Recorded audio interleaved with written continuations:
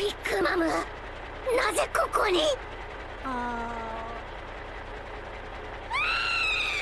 やばいやばい食われる。うん？やばい。やばいやばいチョッパー戦車長やばいチョッパー戦車長奴は今百獣海賊団の格好をしている俺たちを味方だと思い込んでいるに違いないのであります。えそそうか。俺たちは今敵の格好をしているんだった。よしやるぞ。報告します。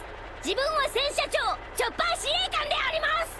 今チョッパーって名前言った宴の警備につき見回りに来たであります。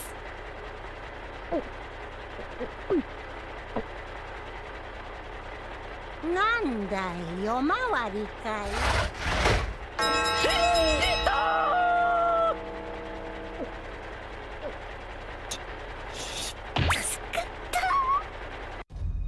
あいつさどこかで見たような。